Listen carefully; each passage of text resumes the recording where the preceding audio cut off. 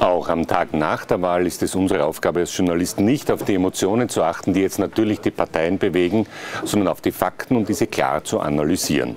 Also natürlich, wir stehen vor einem Lagerwahlkampf pro Hofer, kontra Hofer. Das trifft auch sein Bild des Bundespräsidenten und das wird in den nächsten Wochen noch deutlicher machen. Er möchte doch eine ganz andere Rolle als Bundespräsident einnehmen, nicht nur aktiver, sondern auch die Bundesregierung durchaus vor sich hertreibend. Ein Beispiel, er sagt, er würde TTIP nicht unterzeichnen. Theoretisch ist das juristisch möglich. Das ist so eine Art altes Recht aus der Kaiserzeit, wo das Staatsoberhaupt außenpolitisch noch mitreden kann. Praktisch hat es bis jetzt keine Rolle gespielt, aber Hofer will ihm da anders sein.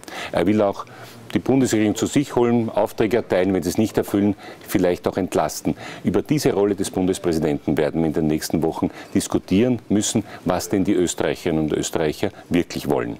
Aber natürlich wird in den nächsten Tagen auch eine Rolle spielen, ob sich die Bundesregierung noch irgendwie da fangt. Im Moment schaut es ja nicht danach aus. Warum sollten Sie jetzt auf einmal draufkommen, wirklich alle diese Reformen zu machen, auf die die Leute schon lange warten? Aber vielleicht ist die Vernunft dann doch größer als die Idee, in die nächsten zwei Jahre nichts zu tun und dann in das nächste Wahldebakel hineinzuschlittern.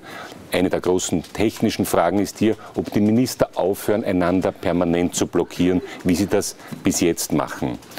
Aber wie gesagt, die Hauptfrage, was will denn die FPÖ? Sie will offenbar einen anderen Bundespräsidenten. Sie will eigentlich einen, der gleichzeitig auch Bundeskanzler ist. Sie will letztlich eine andere Republik. Die Frage ist, ob sich auch die anderen Parteien trauen, dieses Thema offensiv anzusprechen oder sich jetzt nur mehr fürchten.